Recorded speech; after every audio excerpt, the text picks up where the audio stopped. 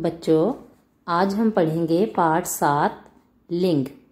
इस पाठ में हम लिंग के बारे में विस्तार पूर्वक पढ़ेंगे।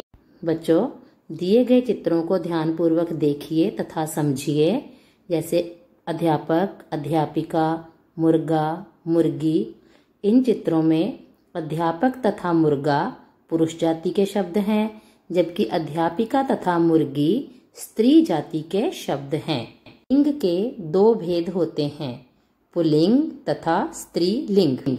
पुलिंग, पुरुष जाति का बोध कराने वाले शब्द पुलिंग कहलाते हैं, जैसे दादा, माली, कबूतर आदि। स्त्रीलिंग, स्त्री जाति का बोध कराने वाले शब्द स्त्रीलिंग कहलाते हैं, जैसे दादी, मालिन, कबूतरी आदि।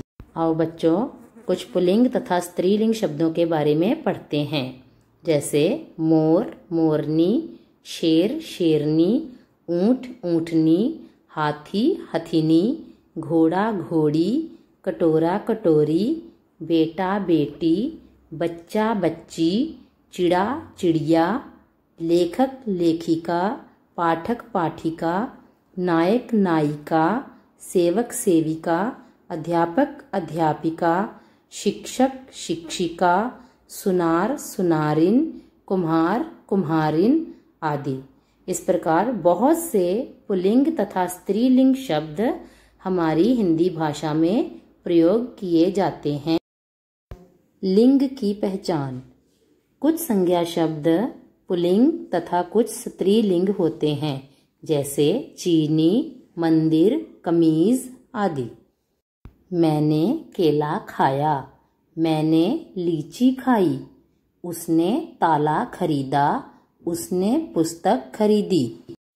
इन वाक्यों में केला खाया, ताला खरीदा, यह पुलिंग शब्द है, जबकि लीची खाई तथा पुस्तक खरीदी स्त्रीलिंग शब्द है।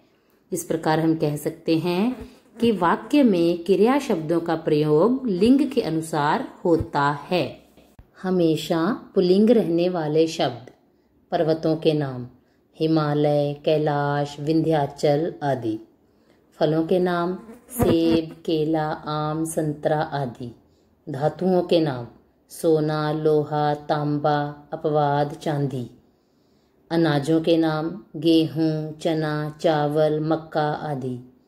वृक्षों के नाम, आम, नीम, पीपल, बरगद, अशोक आदि। ग्रहों के नाम, बृहस्पति, चंद्रमा, मंगल, शुक्र आदि। महीनों के नाम, चैत्र से फाल्गुन तक, मार्च, अप्रैल, जून आदि।